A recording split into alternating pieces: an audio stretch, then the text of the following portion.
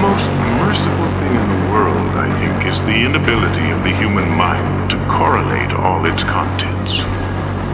We live on a placid island of ignorance in the midst of black seas of infinity, and it was not meant that we should voyage far.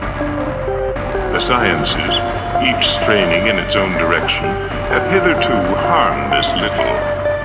But someday, the piecing together of dissociated knowledge will open up such terrifying vistas of reality and of our rightful position therein that we shall either go mad from the revelation or flee from the deadly light into the peace and safety of a new dark age.